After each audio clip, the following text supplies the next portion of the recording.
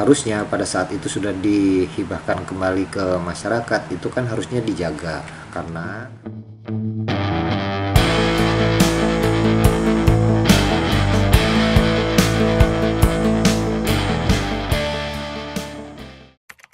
Wakil Ketua Komisi 1 DPRD Kota Metro yakni Indra Jaya pada selasa siang meminta masyarakat mewaspadai ancaman kekeringan akibat El Nino. Indra Jaya menyebut dampak kemarau yang terjadi sejak tiga bulan belakang, membuat sejumlah masyarakat di Kelurahan Tejosari, Metro Timur mulai kesulitan memperoleh air bersih. Pemerintah diminta tanggap mengatasi kesulitan air di sejumlah daerah yang berpotensi rawan kekeringan, Hal ini termasuk di wilayah padat pemukiman penduduk di Metro Pusat.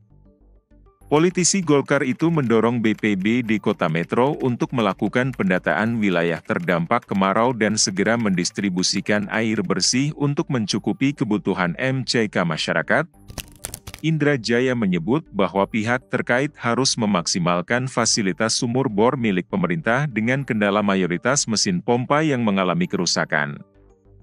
BPBD Kota Metro diharapkan jemput bola memperbaharui kondisi terkini sebelum mendapat laporan masyarakat. Bahkan seluruh pihak diminta waspada menghadapi sejumlah kemungkinan yang ditimbulkan akibat kemarau, termasuk musibah kebakaran.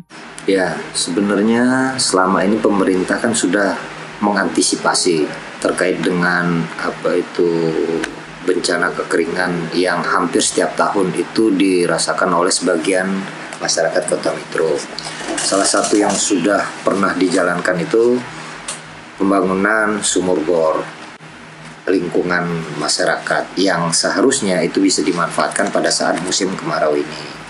Tapi memang ada beberapa kendala yang kami apa dapatkan informasinya bahwasannya ada beberapa sumur bor itu tidak bisa dimanfaatkan terkait dengan ya banyak macamnya. Salah satunya mesinnya rusak. Dan uh, itu harusnya pada saat itu sudah dihibahkan kembali ke masyarakat itu kan harusnya dijaga.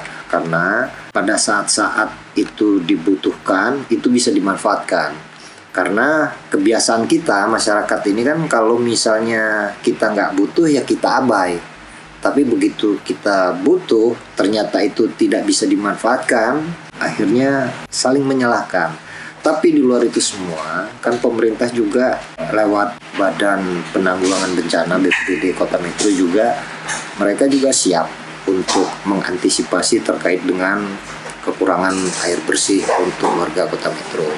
Jadi silakan masyarakat yang butuh terkait dengan air bersih Eh, melaporkan ke BPBD, insya Allah nanti BPBD bisa menyalurkan air bersih itu ke masyarakat yang membutuhkan. Paling tidak diinventarisir dulu lah, ya. Ada berapa titik nih sumur bor yang yang ada di kota Metro ini Terus kemudian dari sekian banyak itu ada berapa banyak. Kalau misalnya memang diharuskan untuk diperbaiki ya nanti diperbaiki. Ya pemerintah harus siaplah menganggarkan apa itu uh, untuk perbaikan mesin-mesinnya.